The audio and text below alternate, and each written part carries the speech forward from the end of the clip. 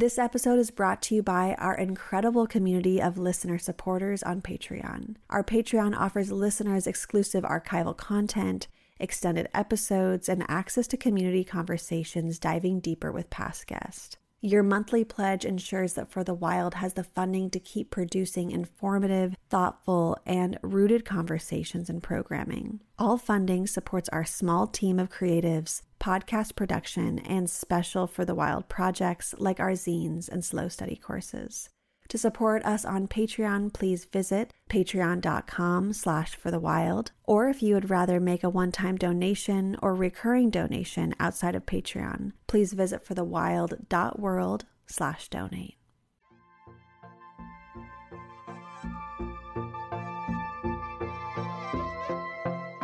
Hello and welcome to For the Wild podcast. I'm Ayana Young.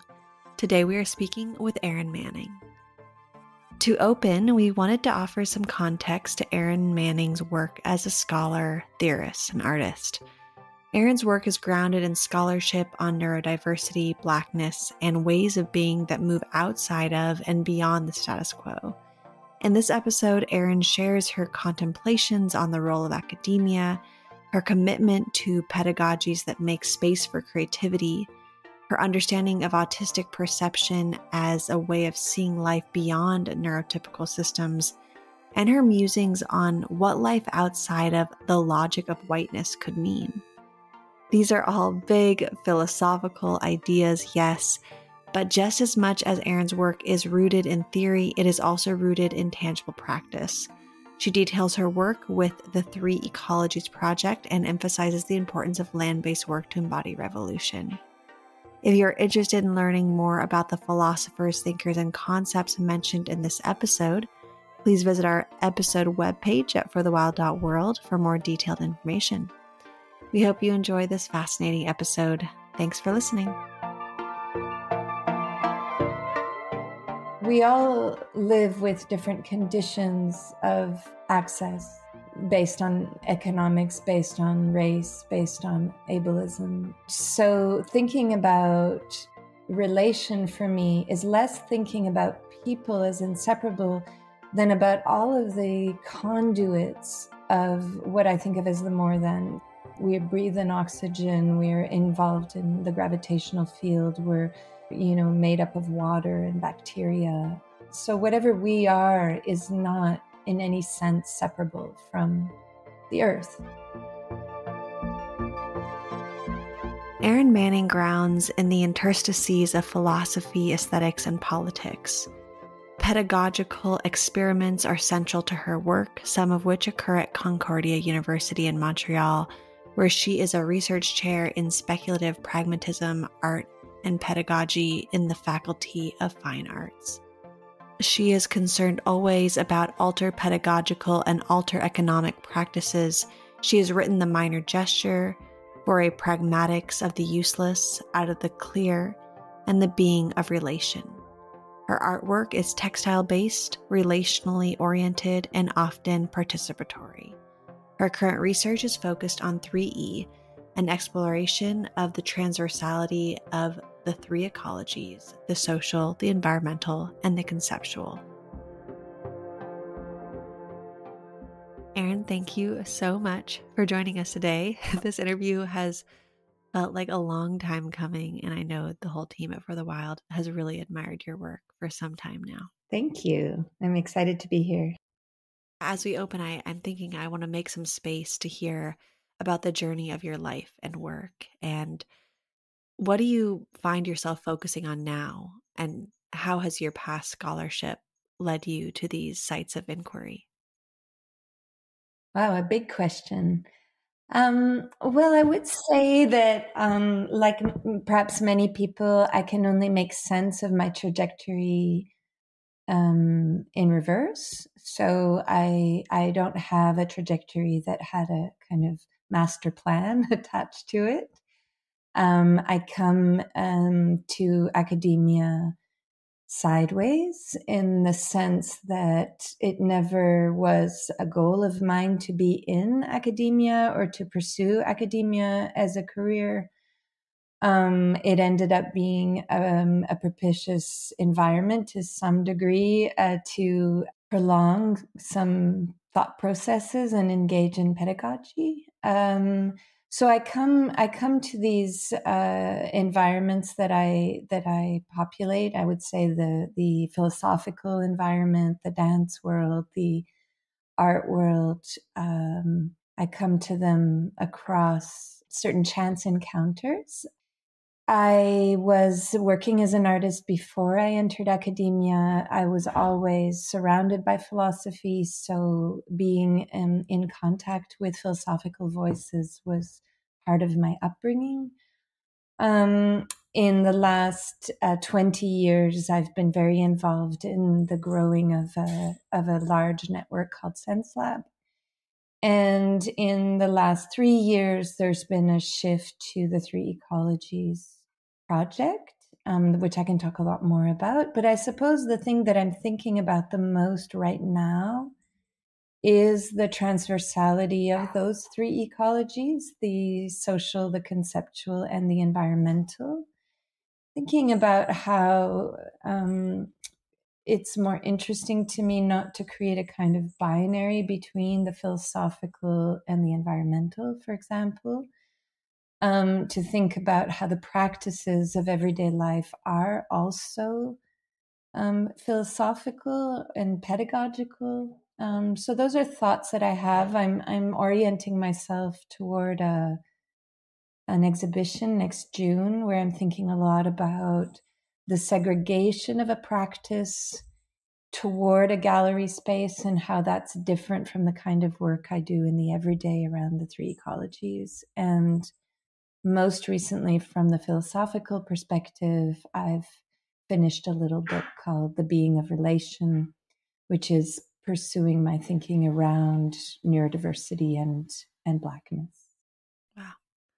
Well, I know it was a big question and that was a big response. So there's a lot to chew on there. And yeah, I guess I'm wondering how dance and movement, especially within the framework of disability studies and subversive expressions fit into your practice and theory?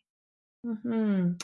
So I, I, was a dancer um, before I went into the academic environment, and at the time that I did my PhD, there wasn't uh, the opening, at least in the environments that I studied in, for what we now call research creation or art-based research. Um, so they were quite separate.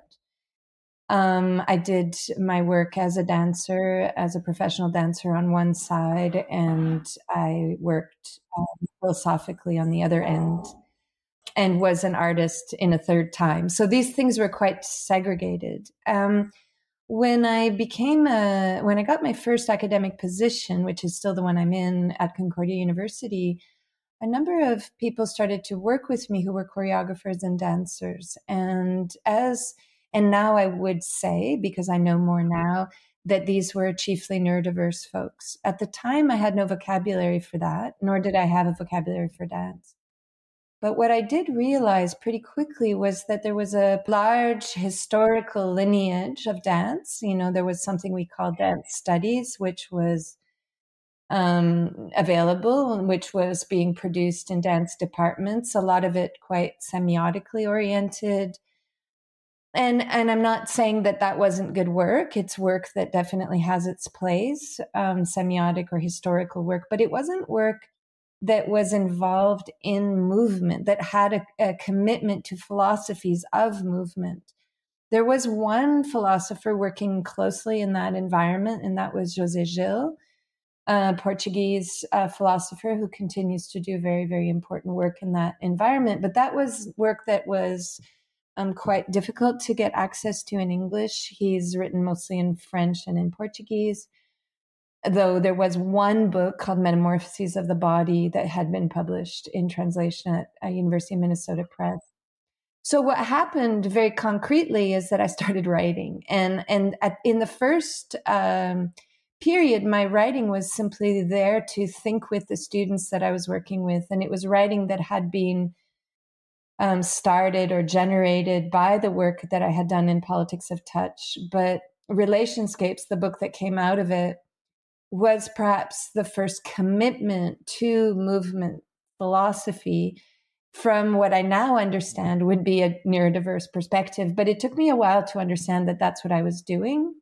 And so, you know, I, I don't necessarily occupy um, disciplinary environments. So I don't know that I situate myself in any one place that could be called disability studies or other studies. But I do think that um, there's something extraordinarily important about movement philosophy and how it allows us to rethink presuppositions about what a body is, how a body moves, how the question of the body has been mobilized in political theory, political philosophy, um, thinking around whiteness, etc. So, so that that would be the trajectory, more or less. yes. Mm. There is something on your website and you write quote to move is to engage the potential inherent in the pre-acceleration that embodies you pre-accelerated because there can be no beginning or end to movement movement is one with the world not body world but body worlding. We move not to populate space not to extend it or to embody it but to create it end quote. So beautiful.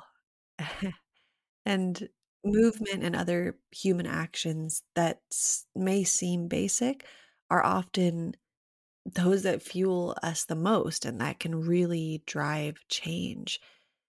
So I'd love to hear more of your thoughts on creating scholarship that honors this type of expression. Mm-hmm. Mm-hmm. I guess I would start in two directions. And again, I, I don't think I fully understood this um, when I was starting out thinking about it. I mean, it's really grown over years.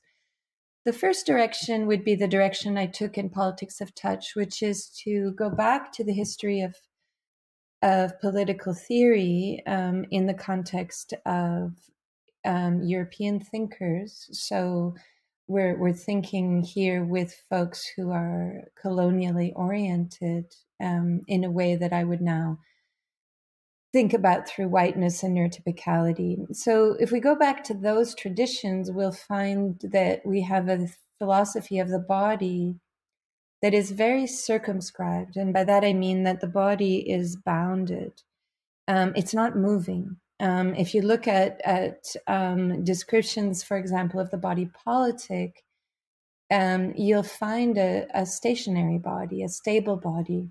Um, and so the question I had for when I was writing Politics of Touch was what what would happen to the political were we to begin elsewhere, were we to to take movement into account? What you know, what would theory of the the human or the modern subject look like under those conditions? So that's one direction. And then the other direction would be the question itself of ecology or environment. Um, and here, neurodiverse thinkers have really helped me out. Um, that uh, there's a, a shorthand of the body that we often call the subject or that we would reduce into um, categories like identity that is useful in um, delineating um, subject object relations, but that is I think, very dangerous in um, sort of cementing a belief that there's a, a clear separation between body and world.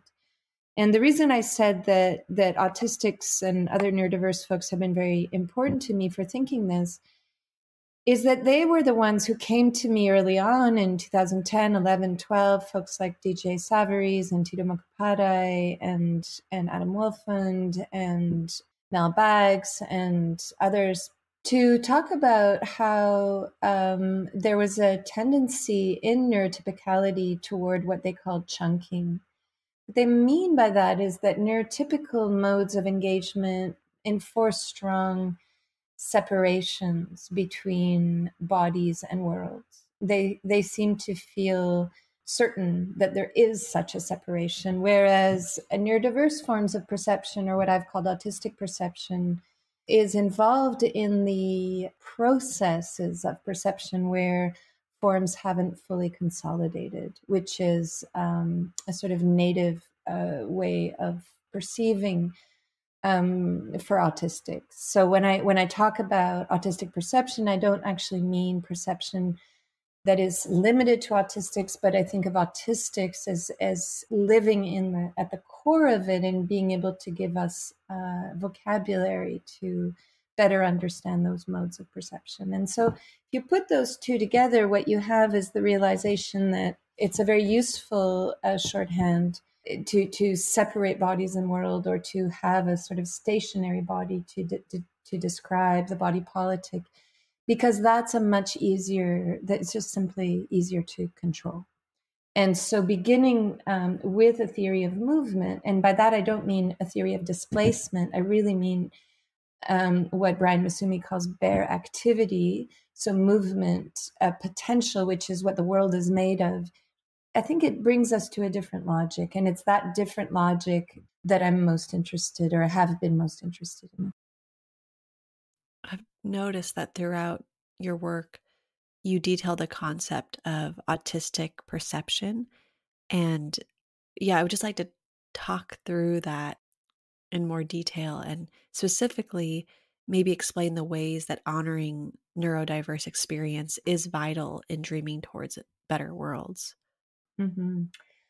So if we if we really take seriously that there is no neurotypical person, so that neurotypicality is a systemic operation that I now think of as aligned in every sense to whiteness, then I think we also have to say that there is no neurodiverse person, um, which is not at all to say that there aren't autistics and folks that are in all kinds of neurological difference. That's not what I'm trying to say, but that neurodiversity is a modality that is expressive of other modes of valuation, other ways of encountering the world that tend to be devalued.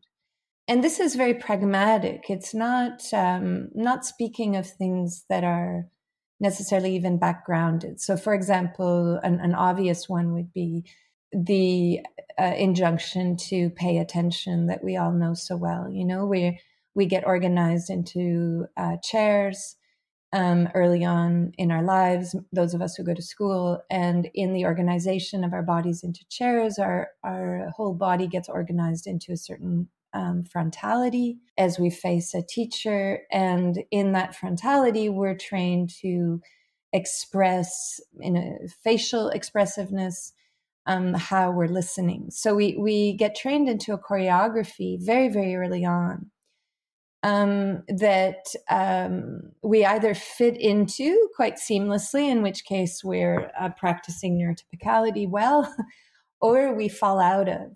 And one thing that you know in my in my book for pragmatics of the useless, I begin to really think through a statement um, which is that Black life is neurodiverse life, and I'm trying to think through the ways in which modes of living that are adjacent to whiteness, that are outside its logic, are by nature neurodiverse modes of life. So, what I would say quickly to that question is that what neurodiversity brings, first of all, is the recognition of those choreographies. And I just named one really quickly. There are there are millions of others that that that organize our bodies and make them docile, um, that that produce performative learning bodies um, that are that that down the road will delineate themselves from other bodies that are considered to be not adequately performative of knowing.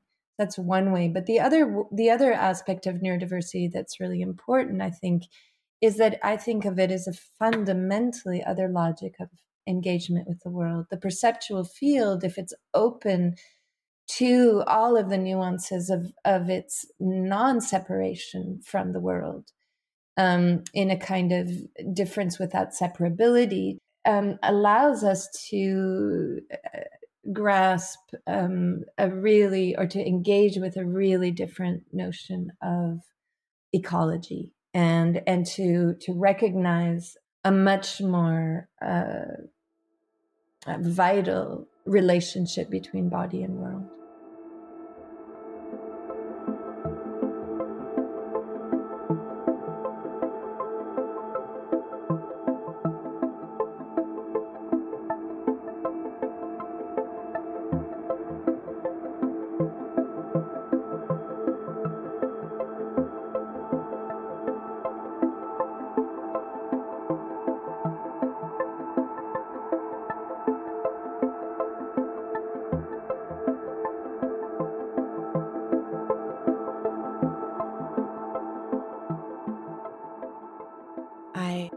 Bring up this other large topic that I know you wrestle with in your work, which is moving outside of systems of oppression. And I I'm wondering how do you grapple with the tension that we must move outside of systems of oppression in order to abolish them, but simultaneously we often solidify their existence through resistance? Mm-hmm. A tough question, isn't it? Um, my tendency is to think that um, the rhetorical doesn't do the work outside if it's segregated from practices. Um, my my own life is completely imbricated in practice. Um, you know, the Three Ecologies project is is a project that requires daily work that is quite physical work, um, generating conditions for living in a pretty northern climate that's off grid. So what I tend to think is that when we're doing this work that that tries to think through very complicated issues um, around racism, around yeah neurodiversity, around um, violence and massacres and death, we have to at the same time be generating, or at least thinking or working to generate other ways of living. It it doesn't work otherwise. Um, I don't think because if if we're not doing that work at the very same time, we're not creating movements for those other ways. So that's a sort of a long way of saying um, that for years I thought that it wasn't my place to talk about these things, to work on these kinds of subjects. Because I was white, I couldn't talk about Indigenous issues, or because I was white, I couldn't work through um, vocabularies of blackness in relation to other ways of living. And at a certain point, I thought that that was wrong. That precisely because I am white, I have to think through these questions, I have to be engaged with them, but in a way that carries through all the other things I do in the world, not separate from them. Mm, yeah. Well, thank you for detailing that for us a bit. And I want to move into a topic beyond and in addition to the university as a thought, because I'm interested in how you view institutions through your work specifically. And I think the university is a particularly interesting point of inquiry as a space that can hold so much radical potential and simultaneously can so easily uphold the status quo. So I'd love to hear more about how you work both within, beyond, and outside of the university through your scholarship and practice. Mm-hmm. The big hard question. I'm very aware that when we turn our backs on the institution, the academic institution, we run the risk of a certain of, of, engaging in a certain naivety around all the other modes of institutionalization that our worlds are made of. So I try to remember that um, in my frustration with the neoliberalization of of the academy, um, so that my response to it is not simply a kind of frontal response, um, a neurotypical response, you could say so I think of, of academia as very, very good at some things. I think of it, for example, as very, very good at attracting interesting people. Um, I think of it as fantastic at fostering encounters um, through the classroom. Not all of those encounters are fantastic, but there are a lot of people doing really interesting work in those classrooms. But I do think of it as a colonial institution that functions very much in the logic of capital. I mean, we get credits. Um, and those credits uh, buy us diplomas. Um, the credits are organized around existing ideas of what knowledge should look like, that are held together through methodologies that are very much within the logic of institutionalization, even when they're called decolonial, in my view. Um, precisely because we we maintain uh, in most cases a sense of somebody as the adjudicator of those processes and for those academic processes to be quote unquote fruitful, i.e., for the possibility of someone being granted a diploma, um, it is necessary that they be legible. Um, I'll give you an example of that very, very current example. I work with someone who's a refugee from Syria who's uh, Kurdish. So this is a person, she's an artist who uh, has lived a life of displacement while in Syria and now for 20 some years in Canada, in Montreal. And um, in the doctoral process, she's asked to make that process legible um, the the the vocabulary she's given to do that is quote unquote decolonial, but but the ways of doing it in language are very colonial, right? I mean, we we expect her to make sense of that experience through practices that have been um, valued by and in the university, such as the kind of citational practices that we operate with that um, predispose us to valuing some voices over others, for, for example. And so the process, a quite a long process of, of working together, has taught us both how limited that environment is for those who cannot work under those conditions. And she's somebody who cannot work under those conditions. She can't make legible. She um, language just doesn't work that way for her, um, in large part because she's also neurodiverse. And so we've found a process that works for her. We'll see if she passes. It's a complicated process that we've come up with that involves preparing a site for engagement where other people will come in and and write in the room and on the walls and on the floor and that the the dissertation will be the room itself. But just as she's going up for defense she's received well a quite I mean, the, the message was meant well, but it was quite condescending message, I thought, about how she needs to um, sort of get it together to understand the rigor that is required of her through this process. And, and whenever I see messages like that, I think, oh, okay, here it is. Here's neurotypicality. Here are those colonial gestures coming back saying, you know, be careful because we already know what a PhD is and what you're doing it doesn't sound or feel or, or look like a PhD. And we're not going to let this get through because if we let it get through, it would it would debase our idea of what counts as knowledge. And I think we do that all the time, that we're terrified, those of us who teach in the institution, of giving away our privilege, of allowing people through the door who, who don't merit that crossing. And they don't merit it because they haven't uh, jumped through the same kinds of hoops that we have. So my my response to that, not just mine, but you know, Sense Labs and and my partner Brian Massumi's response to that has been to think para institutionally. And the Three Ecologies project is the most I mean, Sense Lab was one of the ways in which we did that work for 20 years, and now we're moving more emphatically into what we think of as a parapedagogical practice where um, living and learning are absolutely co composing and we're outside the system of accreditation.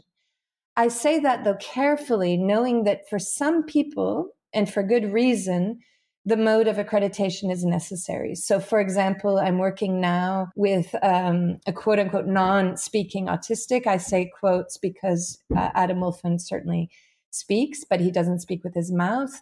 Um, he types to communicate. So that with the first quote unquote non speaking autistic to be in a university in Canada. And it's important that Adam is in the university for other autistics so that they can see that it is indeed possible. So, so sometimes the accreditation is necessary, but a lot of the time, I think um, we could think much more complexly about what learning is, what has always been. Mm-hmm. Such an important perspective that we don't hear a lot about. And in the being of relation, you write, quote, the question is how to create conditions for a blackening of the world, for a reenlivening of the socialities it can produce, for a poetics of relation, blackness as a practice rewilds the cleave, end quote. Yeah, wow. And so I'm just trying to um, wrap my mind around how can we understand rewilding not just which isn't just about an understanding of nature that separated us from it, but rather as an embodied cultural process. Mm-hmm. Mm-hmm. Yeah, so I, have been extremely influenced by um, what is sometimes called para ontological thought in uh, Black studies. And the para ontological comes from Nahum Chandler and gets taken up by uh, Fred Moten and Denise Ferreira da Silva, amongst others. Um, and so it comes up through Chandler in a in a really spectacular text on Du Bois, where where Chandler talks about how Du Bois finds himself in this kind of stranglehold where if he talks about blackness, he's stuck with the vocabulary of blackness generated by white thinkers. So there's there's there's this kind of problem that, that I think you were gesturing at earlier, which is that Du Bois is is stuck then in a logic that has already devalued the very question of blackness.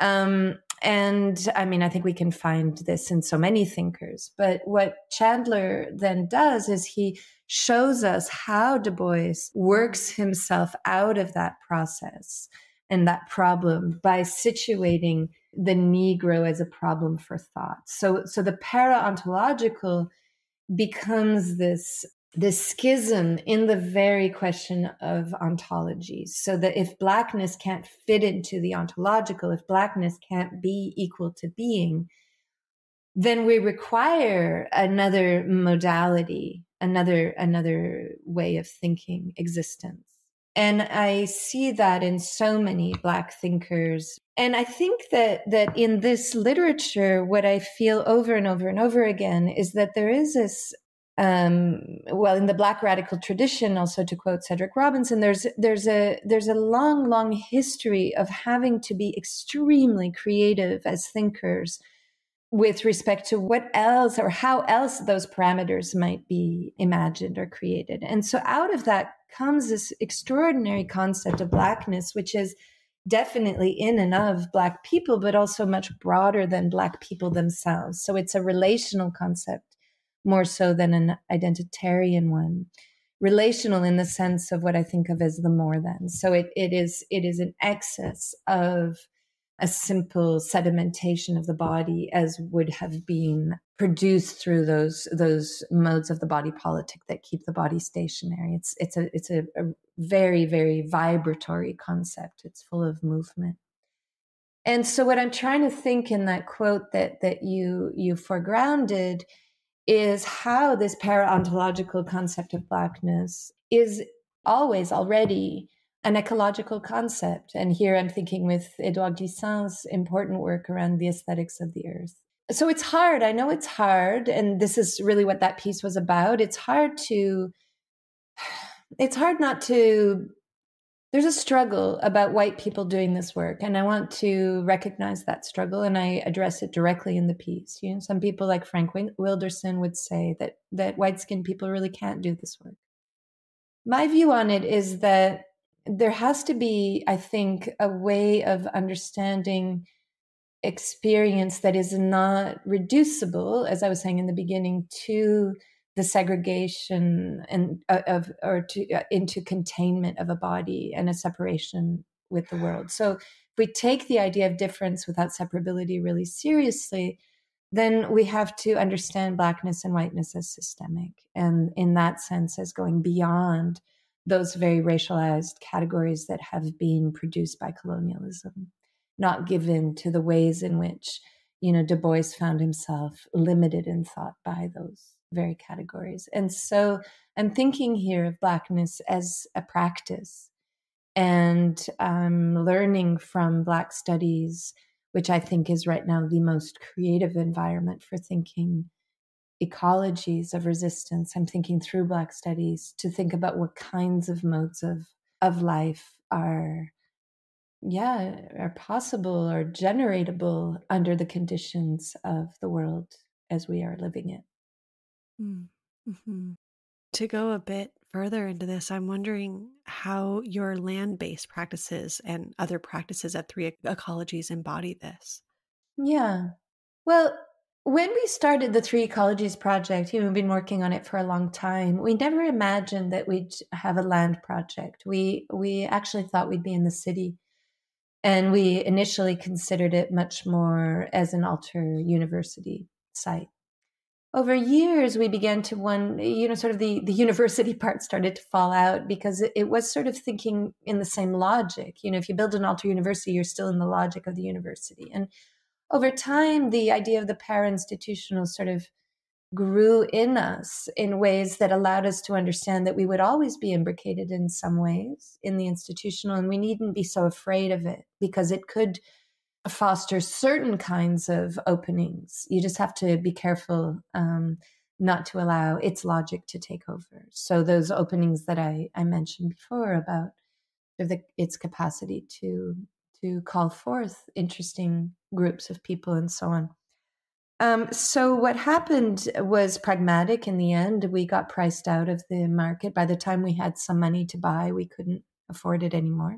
And we fell upon this possibility up north. It's three hours north of Montreal and we became interested in taking seriously um, the question of property. Um, it's a question that I thought a lot about when I was reading The Undercommons um, by uh, Stefano Harney and Fred Moten, and the question of of property, what it is. The, they have an extraordinary chapter in that book on credit and debt, and where they argue that we we really need to owe each other everything. The problem isn't debt. Um, the problem is a kind of logic of credit.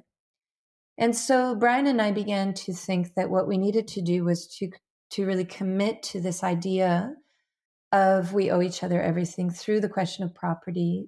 And what that means pragmatically is purchasing land and then taking that land out of the um, uh, real estate market to to to make it a commons um, uh, under conditions of three ecological thought. And by that, we mean, you know, with a mandate toward um, generating the best modalities of growth and preservation and fostering life where it is needed, um, including folks being able to live, you know, without having to purchase property. Um, so, you know, learning, be, building a culture that um, reminds us that we can't own property, that that actually the land is not ownable, the irony of that, of course, is that we have to buy it in order to do that. So it's um it's a complicated project that is the very opposite of an investment. It's it's a bit scary because it it's uh, outside of the logic of capitalism in that way. But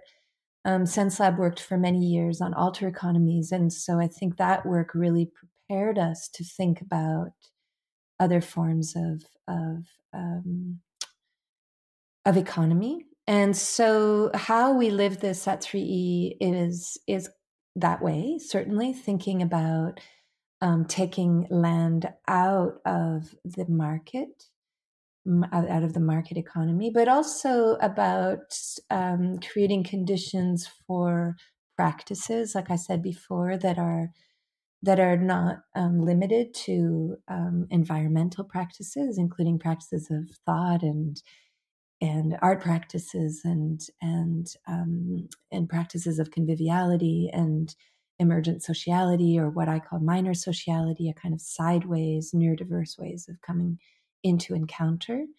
Um, this isn't a community that we're do, we're building. It's a it really is a, um, a site turned toward the transversality of the social, the conceptual, and the environmental.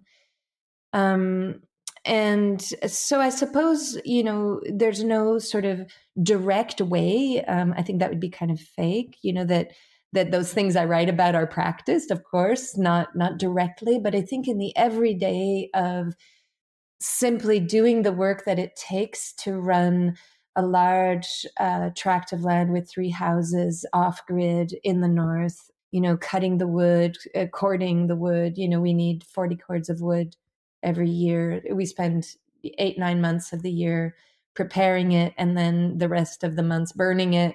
Uh, you know, inviting people to be here. There's a cabin that's open and free for people to who want to collaborate. And again, collaboration is not something really parsed out. Collaborating is in the relation of the three ecologies, so it can absolutely be their work that we then learn from. So that's you know that's sort of the everyday practicing of it that that we're doing, and it, and it you know it, it its range is quite broad from from you know gardening to um, building to uh, firing local clay to learning how to tan hides to et cetera et cetera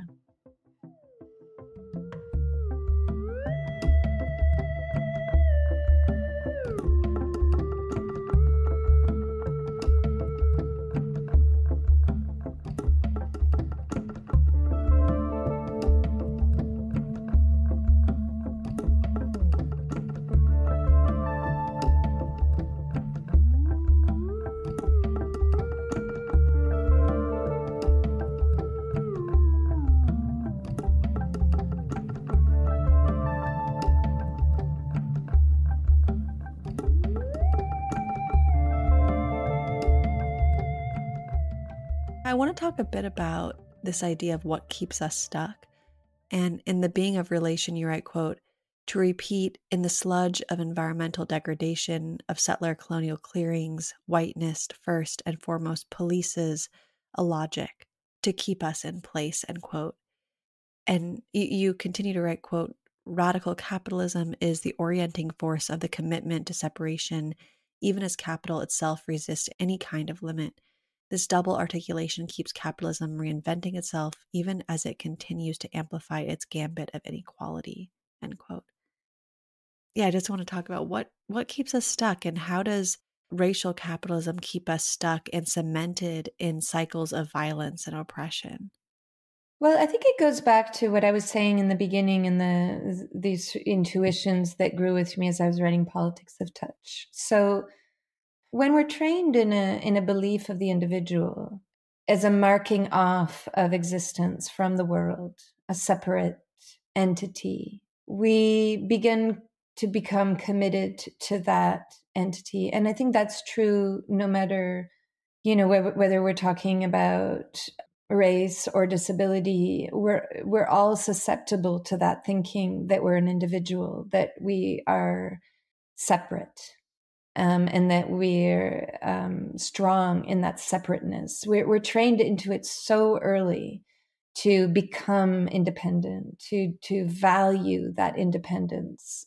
We hear it from our closest friends, even when they're on the left, that they don't want to have to count on others. Um, they don't want to lose their independence. We have, you know, we, we just have a lot of training in that modality but the problem with that modality is that it then also reduces the world to us. I mean, it's very systematic of that modality then to think, how am I going to change things? We reduce the the complexity of the world, we bring it onto ourselves. And and then of course we're struck by the impossibility of it. How in the world am I going to make a difference? It's impossible. I can't so there's this kind of double bind that we're we're in. And then i often think about how anxiety um, really reinforces that. When when um, when we're anxious um, our bodies feel um, terrorized by the world. Um, and and when you lose the sense of feeling like there's a, a some kind of grounding um, you begin to build an environment that you call safe for that body. It's it makes sense that one would do that. Um, I struggle with depression, and I know that when the depression hits, it's really quick for me to go into a kind of myselfness, um, usually negatively, you know, and usually critically against myself, but but nonetheless completely imbricated in a kind of self sameness. I become small. So I think that it takes practice to get out of that. I mean, and I really mean that literally. I think whenever I say practice, I think about Saidiya Hartman's book Scenes of Subjection, where she talks about um, stealing away. She talk, she uses that expression of how the folks this who were um, in, enslaved would um, steal away in the night to gather in the forest to practice the rituals And this stealing away into the practice allowed them to not only recall their webs of relation, but to live them. And this living of those webs allows us perhaps to begin to recognize that when we speak of the qualities of sociality as defined by, say, thinkers like Fred Moten, where sociality is an excess of the individual, is more than the individual, we're not talking about two people. We're not talking about the interrelationship. We're talking about something much, much more complex that doesn't bring two fully fully enclosed subjects into encounter, but recognizes something outside of that mode of chunking, where sociality is an excess of any reducible idea of individuality. There, we're far less endangered in this in, in, paradoxically because we're harder to catch we're harder to capture. Those modes of sociality are harder to capture. I think that's something that so many black writers emphasize that that you can't you can't steal that. You can't steal it. Um, you can try to steal it and certainly um, we have so many examples of that. But so that, that's what i'm trying to think about. The stuckness is um, whiteness. The stuckness is neurotypicality. And it is the habit of valuation that comes with them. So the habit of uh, reducing the world to that um, subject leading orientation. And we do it all the time. You know, we talk about agency, we think about a subject moving something rather than about worlds gathering their their their movement signatures in generating an emergent subjectivity. I am thinking about how as capitalism has continually proven to adapt, whether that be through capitalist solutions to the climate crisis or, gosh, there's like so many examples. I wonder how we keep up with the adaptation of capitalism, whether that be marketing or, uh, you know, because it, it, it gets into our conditioning even unconsciously. Yeah, I mean that's the horror of it, isn't it? Um, I think capitalism is extremely creative. I think we have to recognize that it's generative. It it's generative of uh, new processes continuously. There's a beautiful book that Brian Massumi wrote called 99 Theses for the Revaluation of Value that I think is is, is such an extraordinary look at the uh, capitalism's excesses, what he calls the surplus value of life. So it's very close to what I was talking about just now, those modalities of existence that can't be captured, that are part of the world always, but they tend to fall out from what we understand as having value.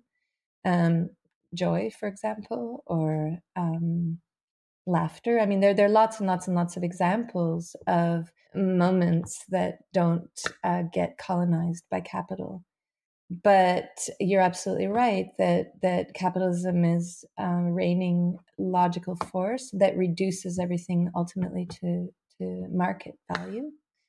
I think about this all the time. You know, working in an alter economic project, I'm always aware of how we need to be um, as supple as possible in um, working across different economies. It's it's um, sort of what I was saying in the beginning about institutions. It's tempting to be anti something, but but that's a hardening. And I, I think in the hardening of it, you could miss out the minor gestures, the leaks, the reorientations, the openings. I say this, you know, having worked many years on an alter economy with other extraordinary thinkers in a group called the Economic Space Agency, and I think that um, that allowed us to become a lot more astute about uh, where it lives in us. I think a lot of the time, capital for the uh, in in the everyday is quite opaque to people, and it's not a bad thing to understand um, its modalities, how it plays out, so that so that you become more attuned to where you can also be in deviation um, from it but it's hard it's hard it's it's the hardest thing Mm-hmm. Yeah, absolutely. It's been something that I find myself questioning all the time. How do I break free of that creativity that capitalism seems to be so good at? And um, yeah, I just have been really appreciating this conversation. And as we conclude, I'm wondering how we can affirm just how inseparable we are, not just as humans, but as members of a larger ecosystem and even universe. Mm-hmm. Yeah, inseparable. I love the concept of difference without separability because it begins with difference. So that our inseparability doesn't mean our sameness, it doesn't mean our commonality. It, it is not without disjunction.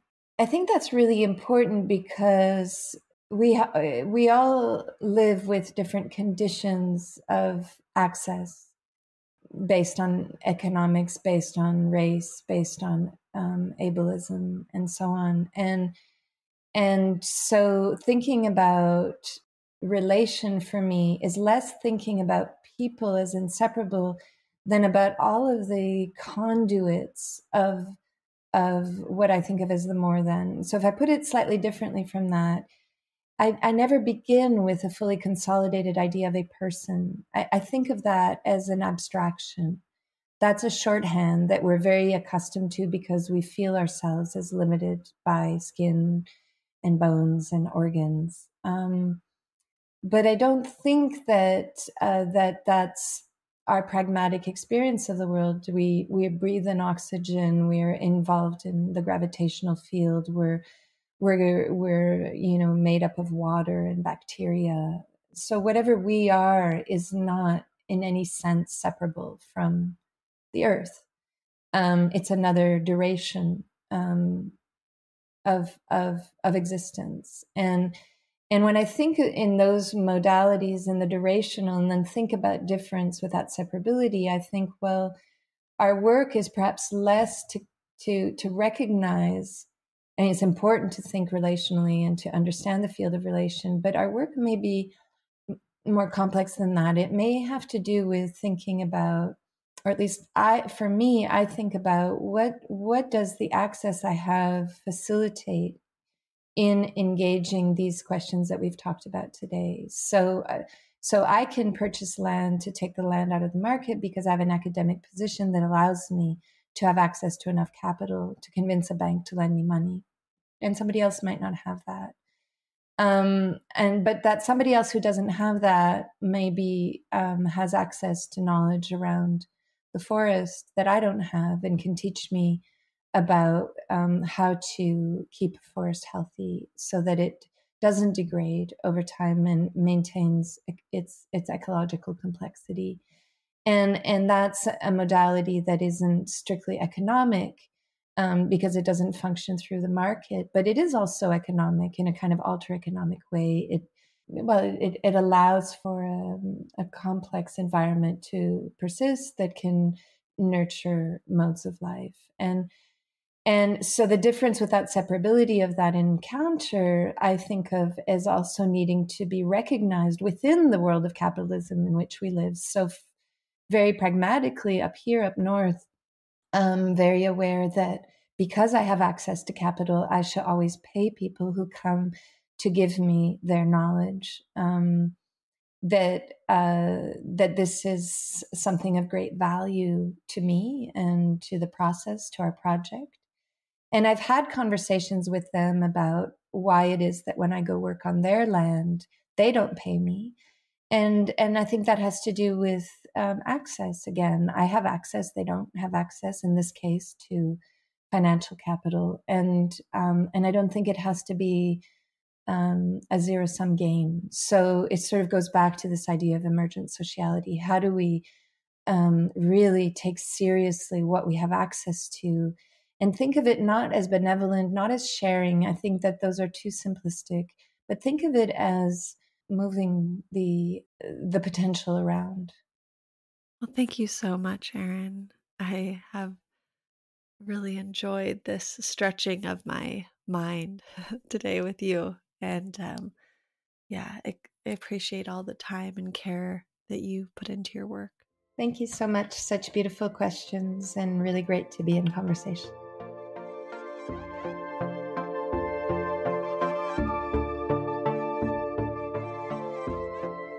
Thanks for listening to For the Wild. The music in today's episode is by Johanna Knutsson, with special thanks to Patience Records. For the Wild is created by Ayana Young, Erica Ekram, Julia Jackson, Jackson Krupf, Jose Alejandro Rivera, and Evan Tenenbaum.